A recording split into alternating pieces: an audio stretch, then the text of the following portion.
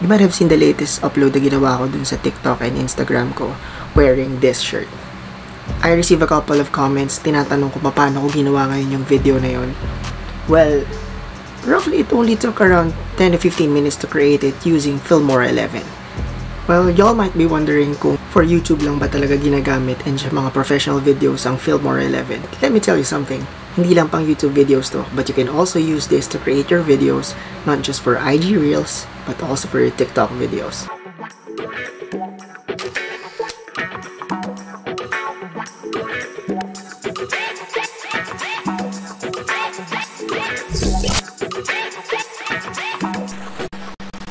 Right.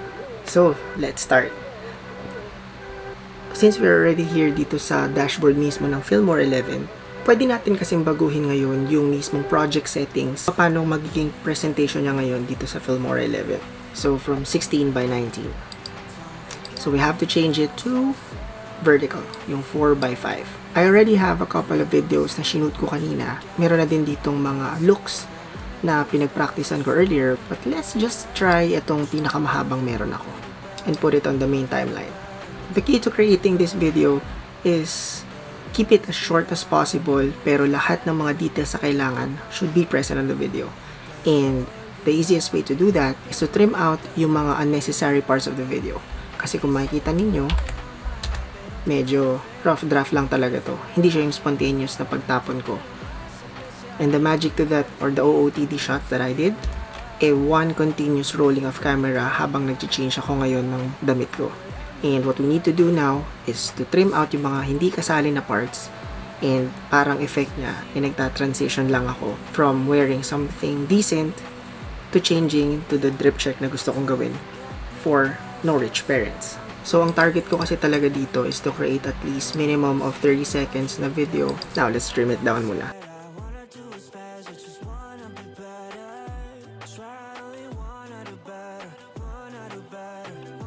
This is how I did naman yung flip-flops ko to rubber shoes transition. From that point, kailangan ngayon mag-landing ako dun sa shoes. So, that point mismo, dyan ko siya ikakat.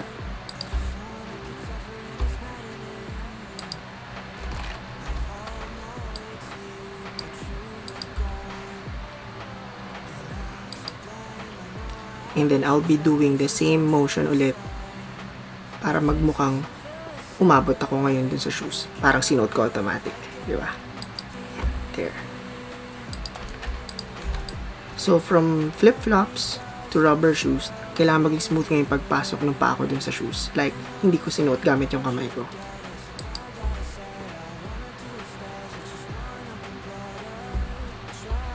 There we go. So, kailangan lang natin mag-trim kahit konti pa para magmukhang saktong-sakto.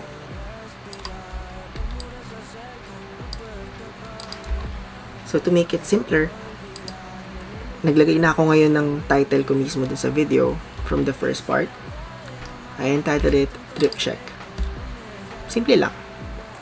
And, hinanap ko ngayon yung mga parts na merong flick, simpleng tap, at saka mga twists and turns ko habang sinushoot ko yung video.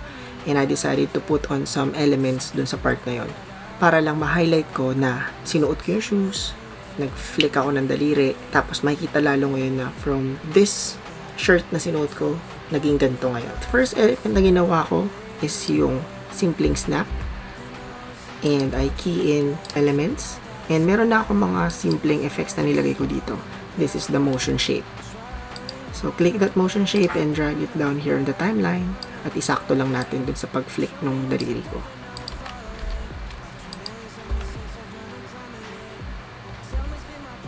And align it as near as possible dun sa daliri pero kita pa din yung effect mismo right over here. And I have another effect na ginawa ko ngayon when I made the small turn and key in yung pink energy. Para lang siyang slash. This one. Ilagay ko siya sa bandang tuhod para makita na nag-turn ngayon yung tuhod ko mismo and a couple of motion effects din dito. Kung nakita nyo, meron ako nilagay na parang usok. Yung parang sa paa ni Roadrunner. Over here. para makita na sinuot ko ngayon yung rubber shoes without using my hands.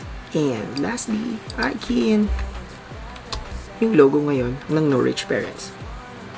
And I also gave it a little effects, yung chromatic aberration.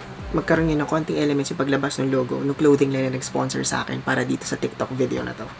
And there, that's it. Simple as that. Ganun ko lang ginawa ngayon yung TikTok video ko.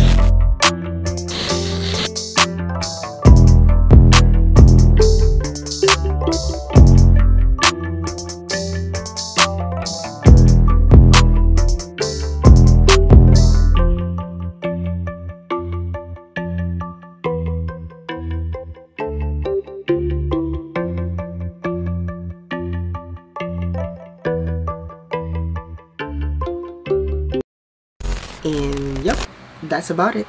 I hope you guys learned something from it. Filmora 11 is not just for YouTube videos and your professional videos, but also you can use it for your other contents, especially for Instagram and TikTok. I guess that's about it. Thank you guys for watching, and don't forget to hit the like, comment, and subscribe. And thank you guys for helping me reach 3,000 subscribers. And this time, let's hit 10,000. I'll see you guys in the next one. Peace.